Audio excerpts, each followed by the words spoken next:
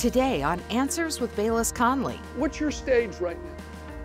What's the season that you're in? What's the lesson that you're supposed to be learning right now? Friend, you've got more laps to run. You're not nearly done with your assignment. There are many questions you are faced with every day. We are all searching for answers that will make a real difference in our lives. It's hard to imagine that these answers might be right in front of us. Get ready to discover answers in the Bible with Bayless Conley. Hello, friend. Welcome to the broadcast today. Got something actually unique to bring to you. It was one of our Wednesday night services, a regular midweek sort of a Bible study service, but we also incorporated the graduation of our leadership college. Yes, Cottonwood Church does have a leadership college. And so we've got, you know, a whole bunch of first year students that are just dressed regularly. And then our second year graduating students, they've got their robes on. And I was speaking mainly to them, but I was also speaking to the rest of the congregation about four keys to have a life of impact. And it's a, in some ways a bit of a different message, but I think you're going to enjoy it. I was doing my best to bring some practical leadership thoughts to these people that had given a couple of years of their life to go through our leadership college. And so just want to invite you to join us. Sit down, open your heart, and let's get into the Word together. I have some thoughts to share with the students tonight, but if you've come, this is obviously a regular Wednesday night service here at Cottonwood. I have some thoughts, in fact, four thoughts and I'm not going to be long, but, but four thoughts that I believe can help you and anyone else in here move into a life of greater success. And I, I almost don't want to use that word, I would rather say significance. And you know, the word significance comes from the word sign. A significant life is a life that is a sign that points others to God. It's a life that's lived for the glory of God, whether you're a banker, whether you're a, a basketball coach, whether you're a computer programmer, whether you're a stay at home mom, whether you're a student at this season in your life, whether you're a preacher, you know, whether you're a, a missionary, whatever, you know, you, you do in your life, your life truly is only significant when it points the way to God. And God will use our lives for that purpose. And just, just four simple thoughts that can help you as you move into a life of greater significance. Number one, be faithful in small things. Be faithful in small things. In Matthew 25 and 21, Jesus said, Well done, good and faithful servant. You were faithful over a few things. I will make you ruler over many things. Everyone say few. Faithful over few, ruler over many. In Luke 16 10, Jesus said, He who is faithful in that which is least is faithful also in much. Say least. In Luke 16 12, he says, And if you have not been faithful in what is another man's, who will give you what is your own? Say another man's. And then in Luke 19 and 17, he says, Because you're faithful in very little, have authority over 10 cities.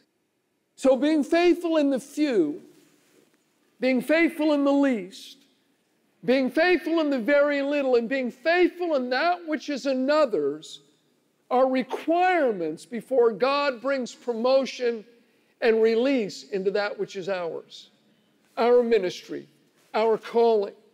You know, there's a lot of people, they want to do great things that will rock society and change the world. And they got big dreams, and I'm all for that. But some of those same people that want to rock the world and do great things don't seem to be too excited about being faithful in the small things. They don't want to work in the small and the unnoticed and the unapplauded areas of life. But my friend, that's where God's eye is. He is observing our hearts as we perform in the arenas of the few and the little and the least and that which is another man's. I mean, just ask Joseph. He had to be faithful in the prison and faithful in Potiphar's house before he was promoted to the palace. He had to help Pharaoh with his dreams before his own dreams came to pass. And God is looking to see if you'll be faithful in another person's vision, in another person's dream, and helping them, and in a small arena. And it's not like, okay, I got to put, you know, the, my, my time in during these seasons of drudgery. It's not that at all. We need to learn to enjoy the journey. Enjoy it when we're doing the small things and the unnoticed things because God is watching. And those small things and those least things and those unapplauded things are so important. It's in those arenas that our character is built. We're made into the men and women that God wants us to be and that God can use. I remember when I was an assistant pastor many years ago, one day the, the senior pastor had asked me and another guy to set up all the chairs. They were going to have a special event, and it wasn't a lot of chairs. I think that the auditorium maybe, maybe seated 170. And so we're setting up chairs, me and this other guy, and we're about a third of the way through, and this guy just threw up his hand and says, I'm not going to do this. And he began to talk about how he was called to greater things and talked about this prophetic anointing that he had, and he wasn't going to waste his time setting up chairs. And so he left in a huff, and I ended up setting up all the chairs by myself. You see, he wasn't willing to serve faithfully in that arena of the small and the unnoticed, but he did want to stand before a congregation and give out a word from God and be applauded. Friend, God, God is watching you, He's watching me in those small areas of our life. We may think they're insignificant, but they are not. They actually are very, very important. You know, it was October of 1979. I was living in a little one bedroom apartment. I just had a mattress thrown on the floor in the bedroom, had no chest of drawers, had no dresser, just a mattress, and I think I had a little lamp on the floor. The living room, there was an old torn up couch in there. I had cinder blocks that I'd gotten with some old wood slats I'd laid across it. That was my living room table. There was a little table in the kitchen. It was barely being held together by screws and had some ancient piece of formica on the top of it. And, you know, I didn't have much at all. And one day I was in the bedroom, standing next to that mattress, worshiping God just talking to him. I remember I had my hands up, I was worshiping, and the Lord spoke to me. He said, You will minister the word on television. Listen, at that time, that was as far away as the moon. But I grabbed a little three by five card and I wrote it down. There's actually a picture of it. I still have that little card. That's the note that I made on October 29th in 1979, that day in my little bedroom. You know, years later, 1983, we began Cottonwood Church, and I went to a little local public access television studio where they taught high school students to use cameras on these, these you know, all this antiquated equipment. And I went in and, and learned to use the cameras, and we taped these boring attorney programs with a promise that I would be able to do one show.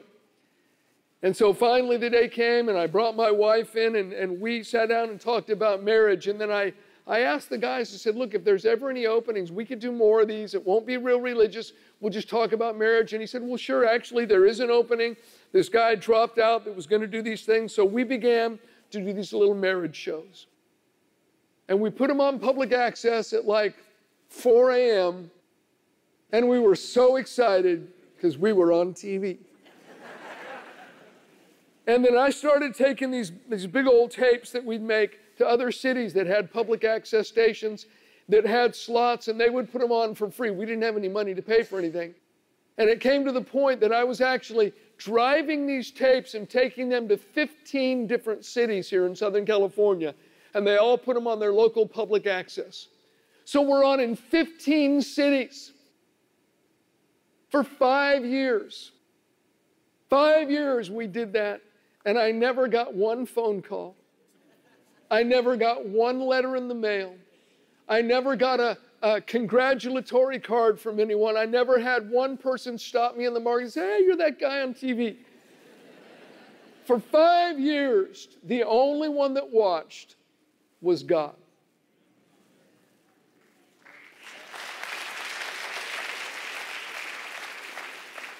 And then some very large doors opened for us, and we have gone on, you know, secular television around the world. We're on in some hundred countries, and it's done in multiple languages right now. But, but you know, there was every opportunity to, to quit, but we were doing what we're doing for God, and we're still doing what we're doing for God.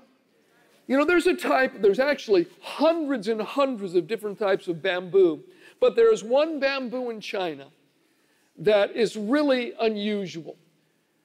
They will tend it, and uh, it, it, drinks water of the rain of heaven, and they will water it and, and take care of it for a year, and there's no noticeable gro- growth in the first year. You can look it up in Wikipedia if you want to. Second year, no noticeable growth. Third year, no noticeable growth, but they tend it, they water it. You know, they, they make sure it has everything it needs. Fourth year, no noticeable growth. Fifth year, sometime during the fifth year, it grows between 60 and 90 feet in 30 days. Here's the question Did it grow 90 feet in 30 days, or did it grow 90 feet in five years? Uh, right now, some of you are tending bamboo. And whatever your bamboo is, you just need to keep watering it whether it's raising your kids, whether it's working at your job and being faithful, whether it's leading a small Bible study, giving on a limited income, be faithful. God is watching in the arenas of the least, the little, the few, and that which is another man's. All right, secondly, number two, it's important to realize that life and ministry come in stages. Life and ministry come in stages. In Exodus 17:1 Message Bible, it says, directed by God, the whole company of Israel moved on by stages from the wilderness.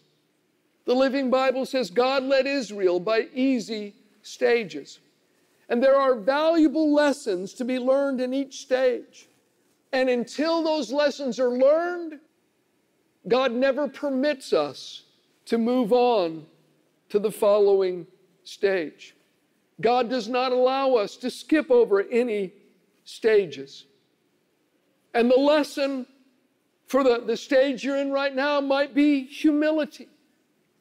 Maybe it's a lesson of trust when all of your underpinnings are taken out, all of your supports are gone. Everything that you could lean upon is gone, and the only thing that you have left is the integrity of God's promise. And in this season, you're having to learn that His promise is enough. And until you learn that test, you don't go to the next season. Maybe, maybe it's a test uh, of stewardship and learning to manage the financial resources that God has given you, even if they're small at this time. That is an incredibly important stage. Maybe it's a stage where you're learning the lesson of forgiveness and walking in love when you've been persecuted or perhaps betrayed by someone close to you. Let's say you're going to choose a contractor to build your dream home. And so you've got different companies coming and bidding on the job. And there's this one well known company, and you think, man, I've heard good things about them. And it turns out that it's actually the son of the owner of the company that is going to be the personal contractor over building your dream home. But you come to find out that he can't read blueprints. He skipped over that. His daddy just promoted him because he was his son. You find out that he doesn't know how to order the necessary materials, sort of skipped over that part. You find out that he doesn't know how to lead a team or manage the work to be done in proper order. He sort of skipped that. He doesn't know how to use tools or run any power equipment, sort of skipped that. He doesn't even know how to obtain building permits from the city, just sort of skipped over that. Now, daddy didn't do him any favors by promoting him, and you sure don't want him to build your dream home. Listen, our Heavenly Father is loving enough and wise enough to not promote us until we learn the lessons in each and every stage of life and ministry. You know, in John 17, 4, Jesus is praying and he says, Father, I've glorified you on the earth. I have finished the work you've given me to do. Now, wait a minute. How could he have finished the work the Father gave him to do? He hadn't even gone to the cross yet. He's not talking about redemption. And if you read it in context, he's talking about the stage of life and ministry of training the disciples. He had finished that work. And then later on in John chapter 19 on the cross, he cries out, It is finished, talking about redemption because he's dying and doing all he can do for the rescue of mankind but it came in stages. And if we had time, which we don't, I would take you from in, in chapter Acts chapter 11, chapter 12, chapter 13, chapter 14. You read about the ministry of the Apostle Paul again and again. It said he finished the work the Lord gave him to do. He accomplished, you know, his, his mission. He, he, he finished having done all. And I mean, just there's these, these words of almost finality, but you, when you read it in context, they're all stages because he hadn't finished it all. There's still more missionary journeys to go on. He still has to write the New Testament. And then later on in 2 Timothy, he says, Hey, I fought, as writing as Paul the Aged, I fought a good fight. I have finished the race.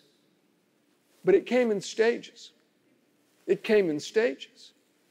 He finished one stage, God promoted him to the next stage. He finished that stage, God promoted him to the next stage. What's, what's your stage right now? What's the season that you're in? What's the lesson that you're supposed to be learning right now? Friend, you've got more laps to run. You're not nearly done with your assignment. And it is just so important to know that life and ministry, it comes in stages. All right, number three, cultivate a thankful heart. You're listening to me, students. This is so important. 1 Thessalonians 5:18 says in everything give thanks for this is the will of God in Christ Jesus for you. First we need to have a thankful heart to God for his goodness, for his salvation and all of the rich benefits that accompany it. A thankful heart attracts more blessings while an ungrateful heart repels God's blessings. Be grateful for what you have. Be grateful to God, but be grateful and thankful to people as well and for the things that they do. And, and don't just think it, express it, show it, tell them. Sometimes I know we think, well, you know, I'm, I'm really grateful, but it doesn't do anyone any good except you if you don't tell them. We need to tell people thank you. And then one final thing is know who you are and know who you are not. Know who you are, but also know who you are not. Familiar story I read from John chapter 1, verses 19 to 23. It says, Now this is the testimony of John. When the Jews sent priests and Levites from Jerusalem to ask him, Who are you? And he confessed and did not deny, but confessed, I am not the Christ. And they asked him, What then? Are you Elijah? And he said, I am not. Are you the prophet? And he answered, No. Then they said to him, Who are you? That we may give an answer to those who sent us. What do you say about yourself? He said, I am the voice of one crying in the wilderness. Make straight the way of the Lord, as the prophet Isaiah had said. John didn't just knew, know who he was, he knew who he wasn't. Are you the Christ? No. You the prophet? No. You Elijah? No. Who are you? What do you say about yourself? That's a profound question. Who are you? What do you say about yourself? It is just as important to know who and what you're not as it is to know who and what you are. There's a, a gentleman that uh, I knew who he was and later on became acquainted with him, but he was a businessman that uh, I was in a meeting years ago. This is probably late 70s. And there was 2,000 people in the crowd, and, and he put out a challenge. He says, I will match anything you give in the offering up to a million dollars. He said, I'll match it dollar for dollar. He did it. I know another individual that, that has an international ministry, and the same guy has sown millions of dollars into his ministry. He's actually developed a, large part of southern Orange County. It's, it's, you know, he's, and I know his story. He's a devoted, spirit filled Christian. Started out with, I think, $500 and one cassette tape on how to discern the promptings of the Holy Spirit and how to listen to the voice of God. And he, I heard him say that, that my whole fortune, everything I've done with my life, came from what I learned on that cassette tape all those years ago. I locked myself in a closet and I listened to it over and over and over and over. And finally, I got it. Now, he's actually come to Cottonwood several times, never to hear me preach. But um, sometimes when we have guests in the church, he, he's turned up and you'd never recognize him. You know, I mean, kind of guy comes with jeans and a t shirt on and a pair of penny loafers. And, uh, but, but I, I, you know, got to know him, just got acquainted, and I, I contacted him one time. I said, Look, will you please come and speak to our businessmen and businesswomen to just inspire them? And you know, I appreciated his response. He got back to me says, Bayless, I'm really honored that you asked me, but I don't do that. He said, I'm not a speaker. It's not what I'm cut out to be. He said, I work behind the scenes, I influence people one on one. He says, and, and God has graced me to make money and to give into the kingdom. But I am not called to be a speaker, so I'm going to pass. I, I was, you know, grateful with his honesty, but also the fact that he knew who he was and he knew who he wasn't as well. Now, John found out who he was. I'm the voice of one crying in the wilderness, as Isaiah had said. He only knew by spending time with God and spending time in God's Word. And friend, there won't be any shortcuts for us either. We're going to have to spend time with God. So here, here's a couple of things you can do. Number one, want to find out who you are? Ask God.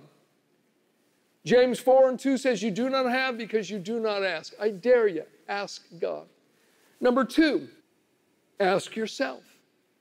Psalm 77 and verse 6 said, I meditate within my heart and my spirit makes diligent search. And number three, ask others, people that you trust, people that are in your world. Sometimes we can have a big blind spot to something as essential as who we are and our own gifting, where it's as, as plain as day to the people that are around us. You all know about this guy named Joseph in the New Testament. He had a significant role to play in the New Testament church. Joseph. Of course, we don't know him as Joseph because when the church observed, you know, the gifting that was on him, they changed his name. They said, You're not Joseph, you're Barnabas. Barnabas means son of consolation, son of encouragement.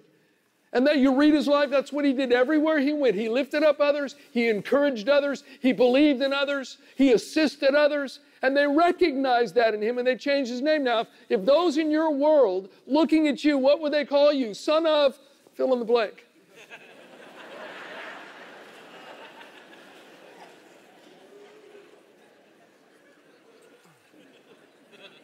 A tree is known by its fruit.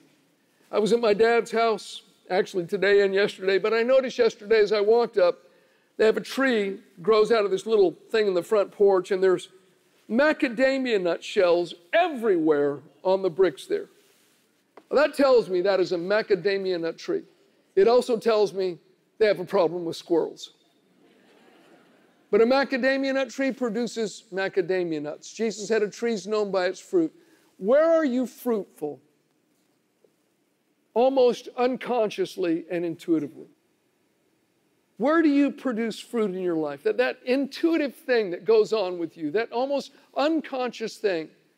that you can make happen.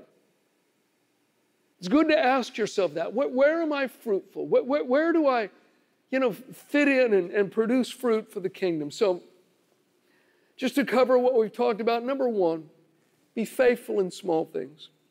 Number two, realize life and ministry come in stages.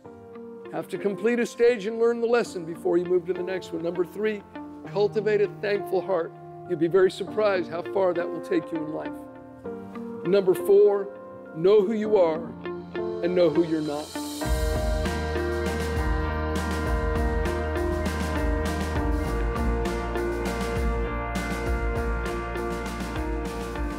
Hope that you enjoyed that graduation service with our Leadership College incorporated in one of our normal midweek Bible study services. We had a great time, and uh, we're just so proud of all of our students, those that are in the school, those that have graduated. And uh, anyway, it was just a great night.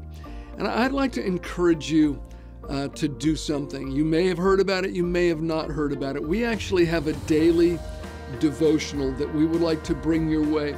If you just go on our website, you can sign up, and then we'll send a daily devotional every morning We'll send a scripture to you and some reflections about that scripture. I believe it can sort of kickstart your day so that you, you can get into the Word and give you something to chew on throughout the day. It can enhance your own Bible study. So if you just go onto our website, you can sign up for the d- daily devotional. And again, we send a scripture and some thoughts about that every single day to you.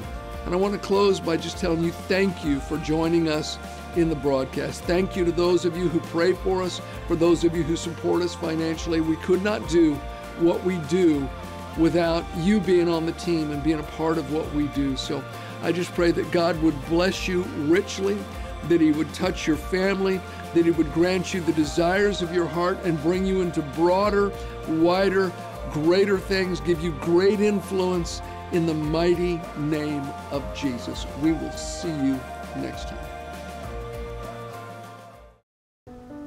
You know, we always go through different things in life. We always have besetting circumstances. The storms of life come to everyone.